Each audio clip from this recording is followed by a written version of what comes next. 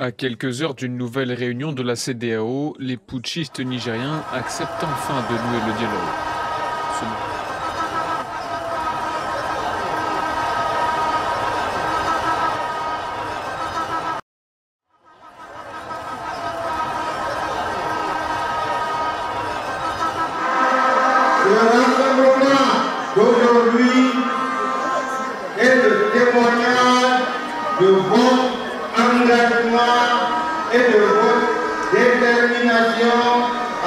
Changer le Niger.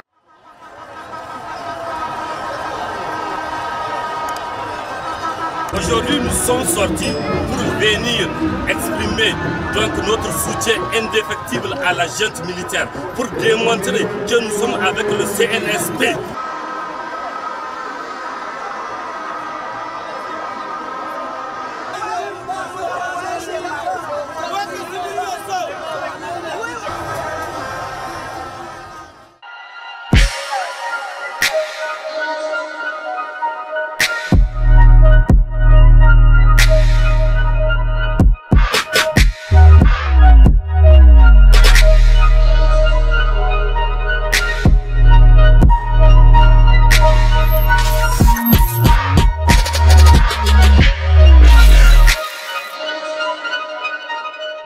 Coup d'État au Niger, la CDAO ordonne le déploiement immédiat de sa force en attente pour restaurer l'ordre constitutionnel.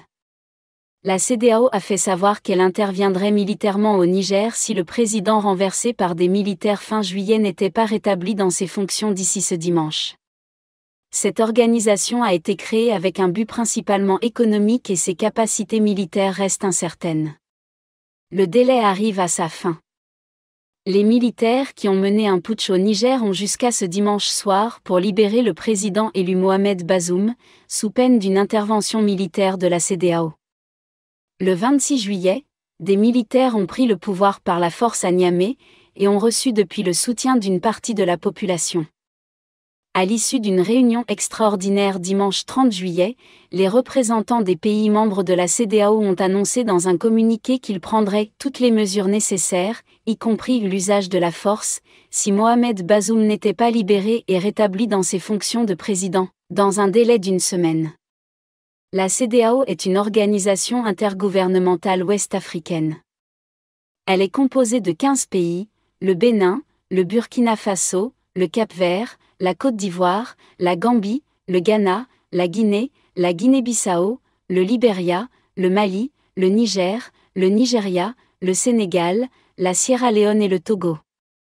Créée en 1975, la CDAO a pour mission déclarée de promouvoir l'intégration économique dans la région, explique-t-elle sur son site.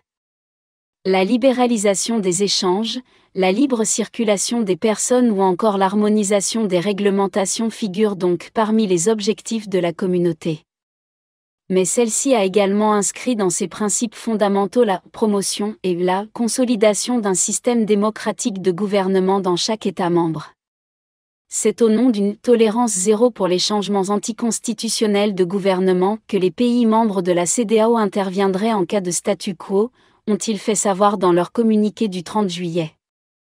Les contours de cette éventuelle intervention militaire contre les putschistes au Niger ont été définis lors d'une réunion des chefs d'état-major du bloc ouest africain cette semaine, a déclaré vendredi à la presse le commissaire chargé des affaires politiques et de la sécurité, Abdel Fattah Musa.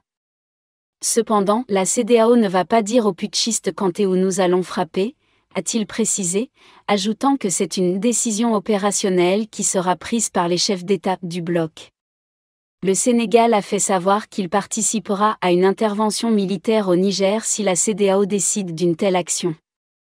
S'exprimant jeudi devant la presse à Dakar, la ministre sénégalaise des Affaires étrangères Aïssata Sall a invoqué les engagements internationaux de son pays envers la CDAO et le fait qu'il s'agissait du coup d'État de trop. Les militaires sénégalais, pour toutes ces raisons, vont y aller, a-t-elle dit.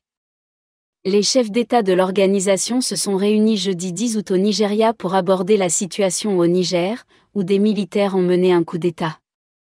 Ce qu'il faut savoir. La CDAO a ordonné le déploiement immédiat de sa force en attente pour restaurer l'ordre constitutionnel au Niger, au terme d'un sommet extraordinaire organisé à Abuja, Nigeria, jeudi 10 août. L'organisation avait déjà présenté un ultimatum aux militaires au pouvoir, le 30 juillet, qui avait expiré lundi sans conséquence. La CDAO souligne toutefois son engagement en faveur de la restauration de l'ordre constitutionnel par des moyens pacifiques, a déclaré Omar Touré, président de la Commission de la Communauté économique des États d'Afrique de l'Ouest.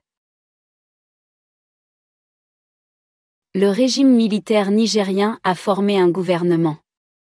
C'est par un décret lu à la télévision nationale dans la nuit de mercredi à jeudi que le nouvel homme fort du pays, le général Abdourahman Tiani, a annoncé la formation d'un gouvernement de 21 membres dirigé par le nouveau Premier ministre, Ali Mahaman Lamine Zein, nommé lundi.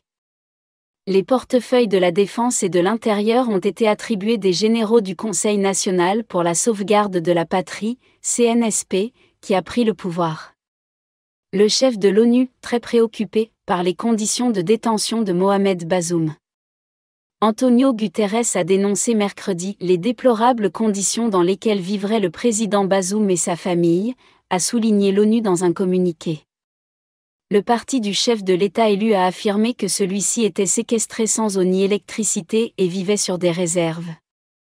Les militaires au pouvoir accusent la France d'avoir violé l'espace aérien nigérien.